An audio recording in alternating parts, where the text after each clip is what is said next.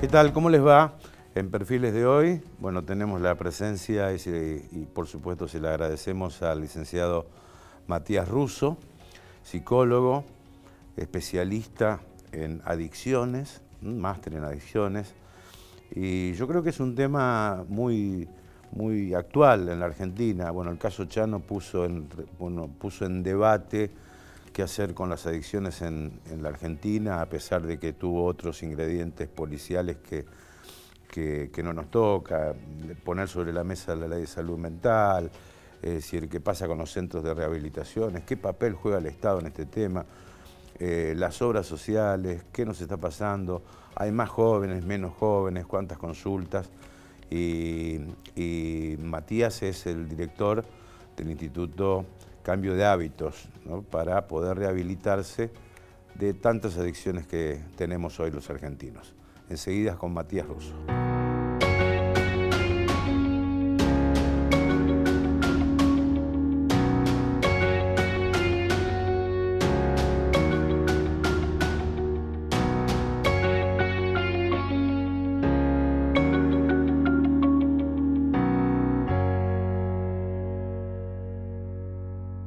¿Qué tal, Matías? ¿Cómo te va?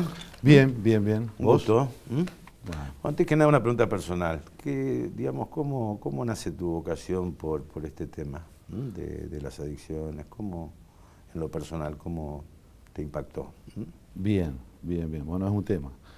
Eh, en realidad eh, fue de, joven, de jovencitos. Eh, tuve algunos inconvenientes con el tema de, de consumo. ¿sí? Eh, y al tiempo me fui a Puyari, y ahí empecé la, carrera de psicología. Este, cuando termino la carrera, en realidad cuando estaba haciendo la tesis de grado me pongo a trabajar en el CISAME, es un psiquiátrico en Diamante. Y ahí empecé a trabajar con chicos del Consejo del Menor, este, que estaban con problemáticas psiquiátricas internados ahí. De ahí empieza, empieza a incurrir a incurrir en, en relación a lo que me ha pasado y en relación a, lo que estaba O sea que vos podés hablar con, digamos, con la experiencia de haber sufrido algún tipo de, de, percance en este tema, ¿no? Así es. ¿Te cuesta hablarlo o no? ¿No? No, no me cuesta, no. ¿Eh? No, para nada. O sea que podés estar del otro, de, los dos lados, de, compartir qué es lo que siente un paciente y de haberlo vivido. Sí, sí, sí, sí. Y después me fui a Europa cinco años y ahí incurrí también en algunos centros, espiando un poco.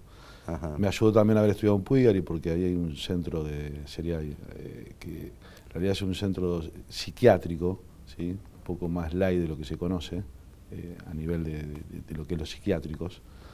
Este, y tuve la posibilidad también de trabajar ahí. Este, en base a todo eso, eh, llego acá a Santa Fe en el año 2005-2006 y empiezo con esto muy de a poco. Este, y que tuvo que ver el armado de cambio de hábitos con respecto un poco a mi historia, un poco al estudio este, y un poco en relación a la vida en sí. Así que un poco lo que hice fue lo que me hubiese gustado que hagan en su momento conmigo y con amigos míos. Eh, ¿Y cuáles son las principales adicciones que ustedes reciben en, cambio de hábitos? ¿Mm? Principales adicciones, eh, marihuana, cocaína, alcohol, eh, juego también, ludopatía. Eh, pero principalmente cocaína, marihuana y alcohol. Ajá. Y, a ver. Y fármacos también. Sí, sí, porque uno, a veces uno estima que no va a, voluntariamente a un lugar, sino cuando eh, uno comienza a darse cuenta o comienza a tener conciencia de que es adicto a algo. Bien, buena pregunta. A ver, en, general, eh, la mayoría no se da cuenta que es adicto a algo. ¿sí? En general, alguien te avisa o, alguien del entorno se empieza a dar cuenta. este, no, quiere decir, no quiere decir que la persona que, ya está incurriendo en una adicción eh, se dé cuenta en un 20%, ¿sí? pero no, desde ese lugar no se trata cuestión de ser consciente y de aceptar que es adicto. ¿sí? De alguna manera lo justifica.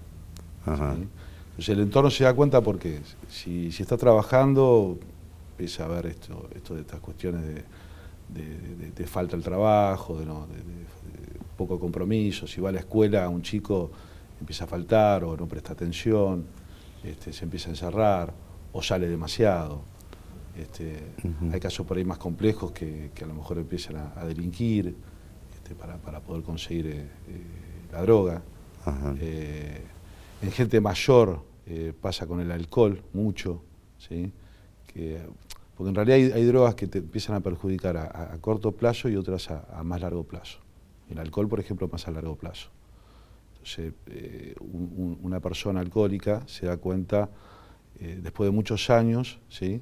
Y en realidad no pide ayuda y generalmente pide ayuda a algún familiar, a alguna persona cercana. Y Matías, ¿cómo juega, por ejemplo, el, círculo de amistades que muchas veces pueden estar pasando por el mismo percance, ¿no? Eh, vos hablabas que eh, por allí el que se da cuenta es el entorno familiar, eh, mucho antes que el que se considera ya un adicto, ¿no? ¿Y cómo, cómo juega el círculo, por ejemplo, de amistades, de, sociales frente a este tema? ¿Mm? Bien. A ver, eh, el círculo de amistades, eh, a ver, pueden pasar dos cuestiones. Eh, si yo tengo amigos del consumo, ¿sí? Y tengo amigos fuera del consumo. Si yo tengo amigos fuera del consumo, pueden pasar ahí dos cuestiones. Una que me empiezan a hacer un lado y otra que me quieran empezar a ayudar. Si tengo amigos del consumo, ¿sí? vas a consumir más. Lo más seguro es que, eh, sí, la probabilidad es que, es que sí, uno consuma más. Y que uno si a lo mejor está queriendo no, no consumir, este, y ese grupo que yo, eh, un grupo llama, lo podemos llamar de pertenencia, yo me siento cómodo, porque también está ligado el consumo, ¿sí? Yo quiera incurrir en ese grupo. Entonces lo más seguro, si yo quiero dejar de consumir, voy ahí y voy a consumir. No por responsabilidad del resto, ¿no? Es una cuestión siempre, como se dice, la responsabilidad de uno. Pero el deseo está de querer juntarme con ellos. A lo mejor no 100% por el consumo, pero sí este, eh, uno termina volviendo a consumir. Claro. Ahora, uno, uno puede llegar a darse cuenta, de decir, hasta acá llego o no, o se pierde la voluntad de uno de recurrir, por ejemplo, a un centro, a un psicólogo, a un especialista en este tema. Em, Digo, por su propia voluntad, ¿lo puede hacer o pierde la voluntad? A ver, eh, hay, no, es, no, es, algo matemático que, que o sí o no.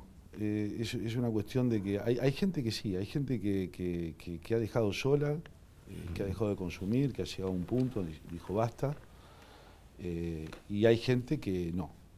Ahora, el tema pasa que hay gente que llega a un punto de tanto deterioro, ¿sí? a nivel funcional, digo, de, esto de, la energía de hacer lo que me gusta, un deporte, eh, estudiar, trabajar, eh, relacionarme con mi familia, eh, lo empiezo a dejar de hacer. Llega un punto que ya empiezo a ser como una, especie de, persona disfuncional, o sea, no funciono. Bien. En, ese caso, en ese caso es, más, es mucho más difícil que esa persona tenga conciencia y, tome la iniciativa de hacer algo. ¿sí? Como hablábamos hoy al principio, ahí ya aparece alguien que a lo mejor te, agarra de la mano y te dice, dale, hay que hacer algo. Con bronca, con cariño, de diferentes maneras se manifiesta. Eh, eh, la, ayuda, digo. Y, digamos, consumir, eh, ¿es producto de algún tipo de carencia también o no? ¿Mm? Es decir, yo busco un escape por ese lado porque estoy carenciado de otras cosas, de de sentimientos, de amistades, de amor, de lo que vos quieras llamar? ¿Mm? Está buena la pregunta. Estoy ofreciendo yo de psicólogo, no sé si... No, no, sí, perfectamente. ¿Eh? Y, podría ser psicólogo tranquilamente. Este, en realidad ya somos seres de carencia. En, realidad, mira, a mí siempre me gustó esto que una vez escuché, que cuando vamos a, vamos a tener un hijo, ¿no? Eh, pedimos que por lo menos sea sanito. Sanito, sí. No pedimos que sea sano, lindo, inteligente. Ya empezamos eh, en cualquier situación, eh, pedimos poco. Eh, esto quiere decir, sería, nos podríamos, podríamos hablar del miedo. ¿sí? entonces pedimos poquito. Y, y, generalmente hablamos desde el lugar de la carencia, porque siempre estamos buscando algo, porque siempre tenemos la sensación que nos falta algo. ¿sí? Logramos una cosa y queremos un poco más. ¿sí? Eh, tenemos una relación con alguien ¿sí? y, estamos medianamente bien, pero queremos algo más. ¿sí? Eh, comemos algo, queremos un poco más. Siempre queremos algo más. Eh, eso tiene que ver, para mí, humildemente lo digo, porque no tengo la verdad, pero funcionamos del lugar de la carencia. Entonces, si funcionamos del lugar de la carencia, ¿sí? es porque hay una sensación de vacío. En ese vacío, en esa búsqueda de poder llenar, ¿sí? Este, lo llenamos con cualquier cosa. ¿sí? Y si es eso que, necesitamos, si, esto que necesitamos llenar, digo, este, quizás una parte consciente y otra inconsciente, ¿sí? nos, nos daña, con tal de llenarlo, ¿sí? lo, lo hacemos. No importa las consecuencias, porque en ese momento sentimos placer. No sé si pude responder. Sí, sí, sí. Pero esto puede pasar en ambos extremos, aquellos que tienen ya carencias y aquellos que tienen todo. Nadie tiene todo. Eh, nos hicieron creer que tenemos todo. Todo porque vos hablabas de, yo creo que vos hablaste de la parte emocional. Sí, por ejemplo. En, realidad tenemos la parte emocional, nosotros tenemos, tenemos todo, tenemos, digo, genéticamente tenemos todo. Tenemos, tenemos las emociones, tenemos los pensamientos, tenemos todo eso. Ahora, que nosotros podamos sentir que tenemos todo, generalmente el ser humano no lo siente que tiene todo. No sé si me explico. Entonces, en el punto de que si yo siento que no tengo todo, ¿sí? voy a buscar. Entonces, cuando vos le preguntás a alguien, y si es honesto con vos, le preguntás cómo está, y te va a decir que, que le falta algo. Pero en general la gente que te dice que está bien, ¿sí? Vos hablas con la gente y te dice, ¿cómo estás? Estoy bien. Pero esa persona quizás le está faltando algo, quizás está en una búsqueda. Ahora, ¿cómo, ¿cómo encauzar esa búsqueda? Cada uno la, intenta a su manera ¿no? encauzarla. Ahora, si nos enseñaron, si nos enseñaron que en esa búsqueda ¿sí? tenemos que ser seres pensantes, seres inteligentes y tenemos que producir, ¿sí? Bien, eh, estamos dejando de lado ¿sí? la parte más importante que la parte emocional. Mati, una pausa, vamos a hacer una, pequeña pausa, ¿te parece bien? Me gustaría preguntar eh, Perfecto. Eh, qué tipo de, patologías ustedes reciben en el centro, cómo se trata a un adicto, por ejemplo, también, ¿no? qué está pasando en nuestro país, qué papel juega el Estado, las obras sociales, ¿te parece bien? Perfecto. Enseguida seguimos con Matías Russo.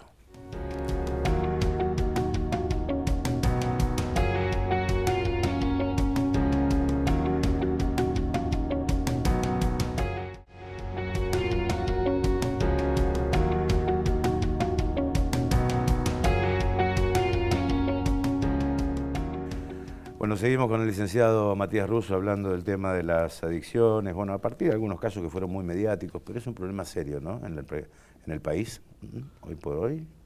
Y es, un problema muy serio. ¿Sí? ¿Cuántas, ¿Cuántas consultas reciben ustedes en el Centro Cambio de Hábitos?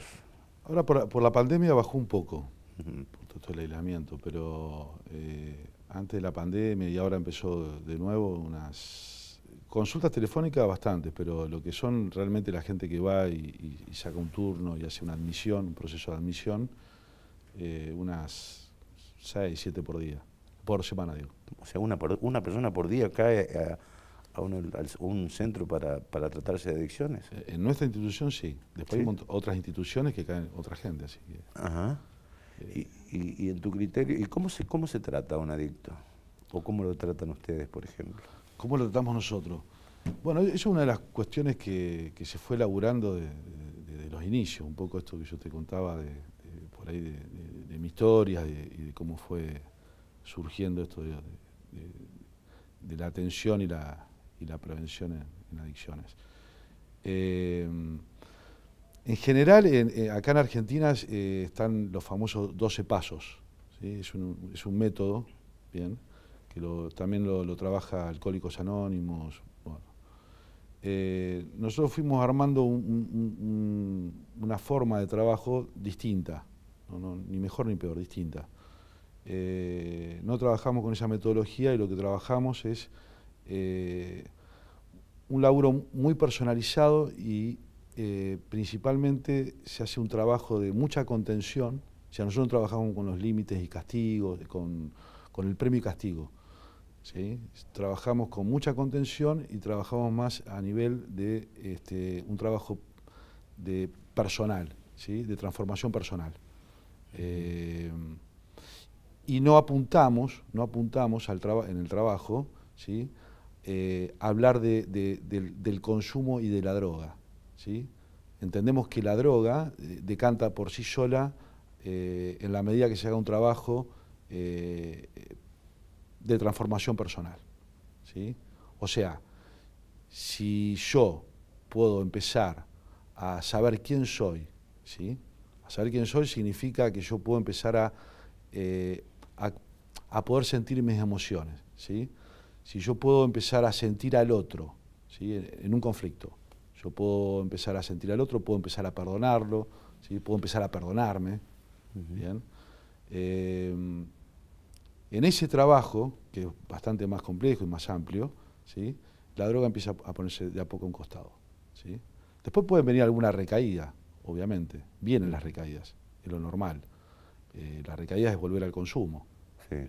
Ahora, eh, yo siempre digo, no, nunca volvés a ser el mismo de antes. ¿Por qué? Porque hiciste todo ese trabajo. Ese trabajo no se pierde. Entonces, si hay un consumo, ¿sí? ese trabajo está hecho, entonces yo voy a tener, eh, al, tener todo ese trabajo personal hecho, ¿sí? lo más seguro ¿sí? es que empiece también a volver a, a, a hacer más largos los periodos de recaída. Está bien. o sea, a ver si, estoy correcto en la interpretación. Estimular una libertad responsable, digamos, de, por llamarlo de alguna forma, ¿no? Pero ser consciente de la, de la libertad que uno tiene. Perfecto, sí, sí, sí, va por ahí. Va por ahí, ¿no? Va por ahí, sí, sí, sí. ¿Y el Estado qué, papel debe cumplir frente a este tema? ¿El Estado qué papel debe cumplir? Debe cumplir. O, y el, Estado debe acompañar a, las, eh, instituciones que nos dedicamos a eso, como, cualquier otra institución que se dedica a otras cosas, es, acompañar, eh, para mí, mi forma de ver. Eh, hoy el Estado, la, obra social que, que, cubre ¿sí? tratamientos, una de las obras sociales es IAPOS, que pertenece al Estado. ellos cumplen con esa parte. Bien. Eh, APRECOT, nosotros tenemos un convenio con APRECOT, ¿sí? que es como la CERONA a nivel nacional. Entonces, lo que hace APRECOT es becar eh, a, pacientes, a personas que no tienen obra social eh, y no tienen, no, no, tienen la posibilidad de pagar un tratamiento. ¿sí? Entonces, se los beca y lo cubre la provincia bien. Matías, otro de los temas que también bueno, ha tenido una, difusión y discusión y polémica pública ha sido la ley de salud mental, ¿no? Es decir, ¿encierro sí o encierro no? ¿Cómo? ¿Encierro sí o encierro no? De alguien que padece una patología de este tipo. Bien, bien, bien, bien. Eh, encierro sí, encierro no. A ver, eh, la ley de salud mental eh, creo que favoreció, porque en su momento, antes que salga esta ley, se internaba una persona sin consentimiento, ¿sí? y por ahí quedaba un año en un manicomio. Sí. ¿sí? ¿Qué pasa? No quiere decir que a lo mejor esa persona necesitaba, pero no todos necesitaban eso. ¿sí? Yo no estoy a favor de que una persona esté en un manicomio un año lo necesite o no. ¿A, qué me refiero si lo necesita? Porque si un manicomio está preparado, por ejemplo en países desarrollados, donde a lo mejor lo sacan, este, hasta se van de vacaciones, Sí, hay comunidades terapéuticas que lo atienden, Bien, etcétera. bien, bien. Ahora, yo solamente un, tra- un tratamiento psicofarmacológico o- o- o- no, no ayuda este, y el paciente se deteriora. Entonces, e- esta ley lo que hizo es decir, bueno, saquémoslo de los manicomios, ¿sí? Este, eh, eh, principalmente eh, tomó mucho foco en la reinserción social. Entonces, una asistencia y una reinser- reinserción social a la vez. El tema de lo psiquiátrico, eh, caso de adicciones, eh, de decir, bueno, ¿cuánto necesita una persona eh, eh, est- estar en, en- en- en el, en el- el hospital psiquiátrico? Sí, bueno, necesita una semana, dos semanas, ¿para qué? Para desintoxicarlo y sacarlo de la crisis. Y después ya está. Después, sí o sí, se, tiene que derivar a una institución que se especialice ¿no? en la problemática. Eh, en, el caso de adicción, una institución que se especialice en, adicción. Sí, Nosotros tenemos internación, tenemos Sí. internación, pero con la moda- modalidad de hostal asistido. O sea, no la, la- la vieja escuela de las comunidades terapéuticas. Que no quiero decir, no quiero decir que, que sean malas las, las comunidades terapéuticas, pero el hostal asistido lo que te permite ¿sí? es que están en el microcentro, está en relación con el mundo, y, y los, paci- y la- los pacientes ¿sí? tienen la posibilidad de salir a hacer actividad física, o sea, acá en Santa Fe, al Parque del Sur, a la Costanera, este, tienen la posibilidad de ir a ver una, una- una obra de teatro, tienen la posibilidad de, de un montón de cuestiones que tienen que ver con la relación. Y hay pacientes también que viven en el hostal, pero salen a trabajar o van al colegio o Claro. O no sea, lo están que- encerrados. Lo que sería el- en contacto. el- es ambulatorio, digamos, casi ambulatorio. No claro, es, es, es, es una, es un intermedio, es, es, es casi ambulatorio, ¿no? ¿Mm? casi, casi. Es, es centro de día, eh, trabajan, duermen y, y- sí, sí, sí, sí, se podría llamar algo así. Bueno, y, por ejemplo, alguien que esté viendo este programa y que necesite ayuda, ¿qué es lo que tiene que hacer? ¿Mm? Lo que tiene que hacer es eh, comunicarse con la institución. Comunicarse con la institución, ahí este, le van a explicar cómo es el proceso, ¿sí? Este, y hacer una consulta. Ajá. Ahí lo van a ver eh, psicólogos, lo van a ver eh, trabajadores sociales eh, y lo van a empezar a acompañar. Ajá. Si, vamos a suponer, una madre está preocupada o un padre está preocupado por su hijo, este, no importa que, no va- que- que el hijo no vaya, pero que ya empiecen a, a- a tener contacto y, y es importante decir que nosotros trabajamos muchísimo con las familias. O sea, ingresa un paciente, ¿sí? y sí o sí tiene que ir un responsable. Generalmente son familiares y los familiares hacen un proceso también de, de tratamiento, de trabajo, ¿sí? para poder acompañar. Es decir, la parte de contención familiar. Y de eh, aprendizaje. se- se- y se, se- aprende eso. y aprender a contener, porque por ahí eh, creemos que contenemos y no estamos conteniendo. Matías, ha sido un placer ¿eh? escucharte ¿eh? y Y- tenerte acá en Perfiles. ¿eh? Bueno, dice igualmente. Bueno. Matías Russo pasó Gracias. con nosotros en Perfiles de Época. Gracias, Caro, gracias, gracias Maggie. Bueno, está Tato por ahí, Agustín, así que por la producción de este programa. Y nos despedimos hasta nuestro próximo encuentro. Gracias.